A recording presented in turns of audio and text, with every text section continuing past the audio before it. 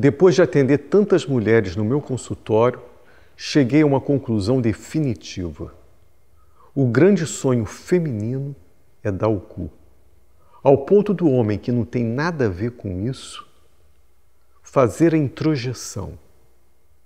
Quando ordena a sua parceira para ficar de quatro, está apenas exercendo o papel de marionete, cujas cordas são manipuladas obsessivamente por mãos femininas.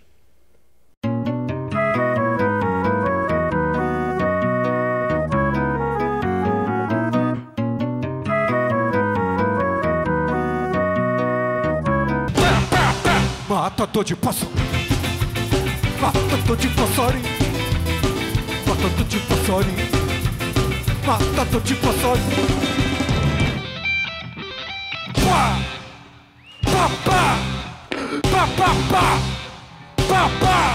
Hoje eu estou recebendo no programa Matador de Passarinho uma das minhas criações. Aqui ao meu lado, Rogéria Skylab. Tudo bem, Rogéria? Rogéria, me fala uma coisa. É, como, que, como tudo começou? Como foi o início né, da tua carreira artística? Ah, o começo foi numa, num disco é, da série dos Skylabs, chamado Skylab 5. Né? Foi a minha estreia, né? foi a minha estreia como imagem, como uma foto. Eu fui capa do disco Skylab 5. Né? Foi aqui, a minha estreia foi aqui, no, Sky, no, no Skylab 5. Né? Agora, é, eu tenho consciência de que eu sou imagem, eu sou imagem. Né? É, assim como você, Rogério, você é uma imagem. Né? É, é, e nesse sentido, é, a, gente, a, gente, a gente, de uma certa forma, conserva a eternidade. Diferentemente do Rogério Tolomei, né? que é um anônimo e que foi responsável por essa confusão toda. Né? Esse Rogério Tolomei, com do qual eu não tenho nenhuma simpatia, não alimento nenhuma simpatia por ele, mas ele foi o grande responsável por isso. Ele, ele vai sofrer o processo de putrefação. Eu não, eu sou mera imagem, você também. Você nunca vai sofrer o processo de putrefação. Né? Respeito à magia negra. O meu problema é com a macumba para turista, esse oba-oba dos infernos. Se eu encontrar uma na encruzilhada, eu dou-lhe uma butinada. Mas sim, mas, mas quais são as suas influências? É, pelo menos na música, né? Quais são as suas influências na música? Olha, eu, para mim, é, é, eu gosto muito de um movimento é, que surgiu na Alemanha no final dos anos 60, chamado Krautrock. Né? Tem uma banda que é referência desse movimento, chamado Tangerine Dreams. Né? Tangerine é uma banda muito Dreams. importante. Né? Eu, uma, das, uma das grandes influências para mim é, e para um tipo de música que eu construo é, é esse lounge dos, dos anos 60, né? É, é misturado ao pop. Né? Hoje, uma banda contemporânea que é uma grande referência para, para, para mim é a Stereolab. Né? A Stereolab é uma, é uma, é uma grande influência. É, tem a Laetitia Sadier, né? que para mim é, é, o, é o meu modelo de mulher. Né? né, uma francesa, vocalista do Stereolab. Né? E ela, ela, é uma, ela é, um, é um amor, é uma fofura de pessoa. Né?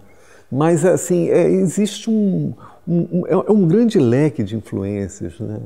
É, tem a psicodelia, Pink Floyd, por exemplo, que para mim foi fundamental. Né? É, ao mesmo tempo, tem a, a, a, vanguarda da música do século XX, né? É, a música concreta. Né? É. é seria muito interessante também, nesse sentido, mostrar o, o disco né, o, o, disco o Sky Girls, que esse, esse, esse disco ele foi uma, foi uma a gente fez uma prensagem muito pequena só para jornalistas, para pouquíssimas pessoas, né? É, enfim, é, esse disco já está esgotado naturalmente, mas você tem como baixar pela você tem como baixar pela internet. O, a, a música a música é, na ilha de Lesbos, do, do, do disco Sky Girls, é, é, maravilhosa, né? é fascinante essa música. É, e isso, isso me, me faz pensar que o disco, esse disco, Sky Girls, tem uma relação com um LGBT, sabe? É, uma simpatia, né? Me fale um pouco, você existe realmente isso? A questão, eu, eu, não sou muito a, eu não sou muito a favor da estética de gêneros, né? gêneros sexuais. Né? Eu sou meio contra isso, sou meio reticente com essa estética de gêneros. É, mas a, a, questão é que, é, é, que uma, uma pessoa hétero, a gente, a gente, eu percebo um hétero a, a distâncias, a quilômetros de distância. Né? É, o hétero você, o, hétero, o hétero tem um cheiro que você percebe com muita, com muita, com muita clareza. Né? Outra característica do hétero é o olhar embaçado. Né? É o olhar embaçado. Se você perceber bem, o, o Rogério Tolomei, ele tem um olhar embaçado. Né? Tem, é diferente de você, é diferente de você, né? porque você tem a chama da criação. Mas o Rogério Tolomei, ele tem um olhar embaçado. Né? Quando ele passa na rua, dá pena, né? dá pena. É... Eu gosto de estar presente com pessoas que têm a chama, a chama da loucura nos olhos. Né? Nesse sentido, às vezes uma pessoa drogada é muito mais interessante do que uma pessoa comum. Porque a pessoa comum, na verdade, ela, a pessoa comum é uma pessoa covarde, né? É uma pessoa covarde. Ela, ela, ela tem medo de morrer, né? Tem uma coisa muito curiosa, porque é, antigamente na cultura grega é, é, desvalorizava-se a pessoa que era escrava das paixões dos vícios, né? porque essas pessoas não teriam domínio, controle sobre a sua própria vida. Né? Daí criou-se toda essa estética, toda essa, essa mentalidade né, da cultura ocidental, né, de desprezar o vício. Né?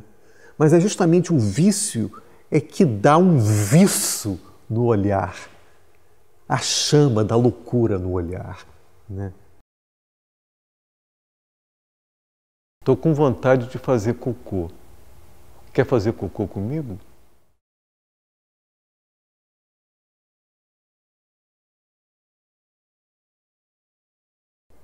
É, eu poderia te enlaçar, eu poderia te comer gostoso, né? mas o problema é que se eu fizer isso, acaba a Rogério Skylab não tem mais Sky. Então, é fundamental, por mais tesão que eu tenha por você, é fundamental a, a gente respeitar essa distância mínima. Entendeu? Porque se não houver essa distância, acabou Sky acabou Rogério Skylab, acabou, acabou tudo. Essa distância entre eu e você é fundamental. É uma distância mínima, mas ela tem que existir.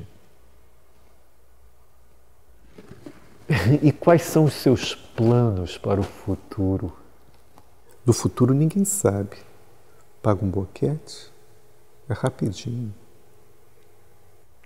Ah, não, não sacaneia.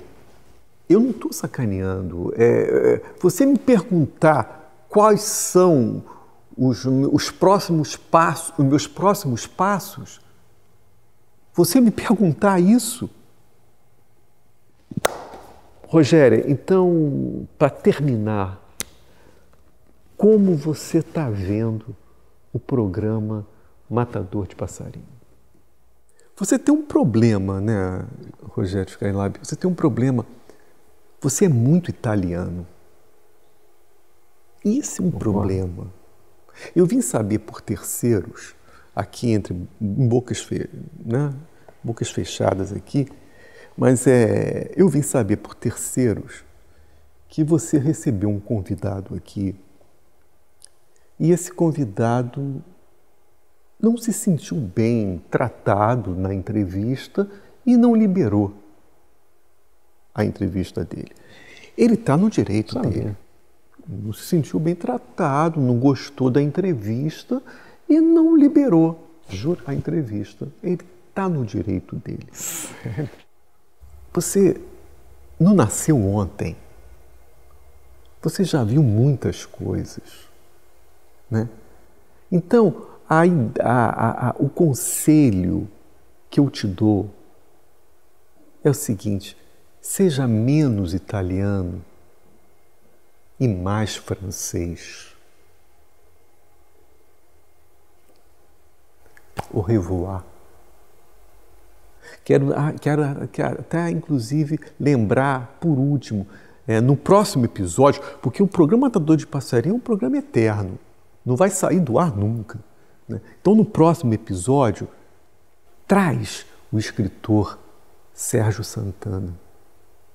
Tá? Olha aí os bem-TVs do Canal Brasil em seu habitat natural. Peraí, o narrador chamou a gente de bem-TV? Tô ligado, é porque os humanos acham que o som que a gente faz é bem-TV. Isso não faz o menor sentido. Eles não sabem que o que a gente fala é. Imagina o dia que eles descobrirem que a gente tá o tempo todo falando.